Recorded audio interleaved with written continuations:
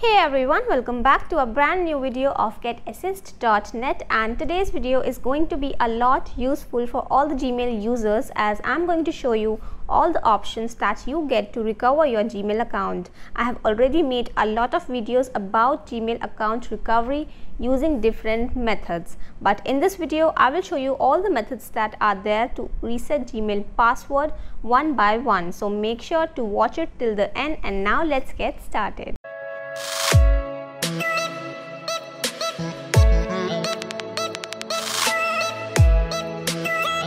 So to recover your Gmail account or reset its password, you have to go to the Gmail sign-in page that is gmail.com and there on the home page you have to enter your email address that you want to recover and then click on next.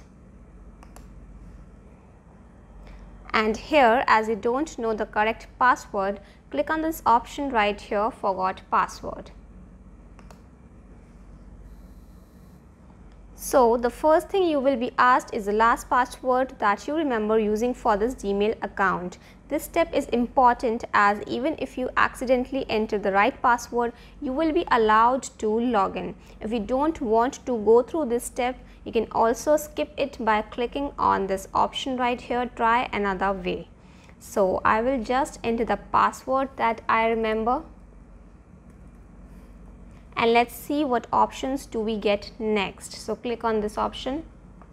Now, this is the first option that you are getting to reset the Gmail password alright. So, here you have to enter your phone number that is linked to your email account and then you will get a code on that phone number that you have to enter to recover or reset the password of your Gmail account.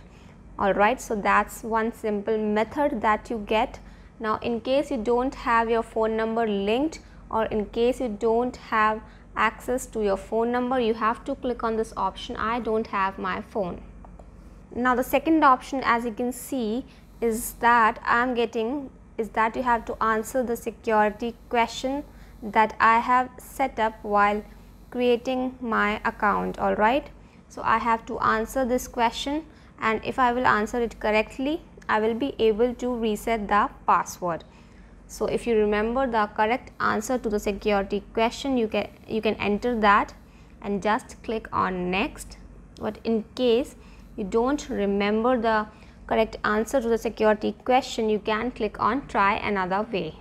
Now this is the third option that you get. You can also reset your password using your recovery email address. So here you ha have to enter the recovery email address. You have to complete this email address in this blank and then you will receive a code on that. So you have to log into this email address and then enter the code. And when you will be able to enter the code you will be allowed to reset the password. So that's the third option you get to reset the password of your gmail account. Now let's see what happens if we will click on this option right here try another way. All right let's do it. All right so as you can see i have linked two of my email address as recovery uh, to this gmail account. So i'm getting both of these options to reset the password.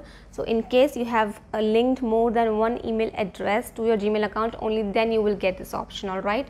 So again i'm going to click on try another way to see if i get any other option or not. So yeah as you can see it's written that google needs more info to verify that it's you to help keep your account secure, Google needs to confirm that this account belongs to you.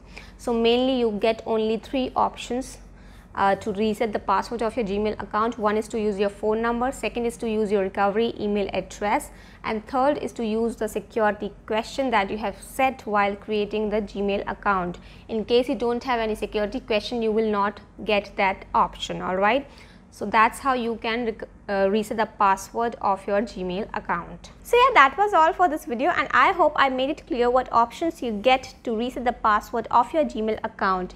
If you still have any queries, you can ask me in the comment section below and for more such informational videos, don't forget to hit the subscribe button and I will take the leave now. We'll see you with a new video.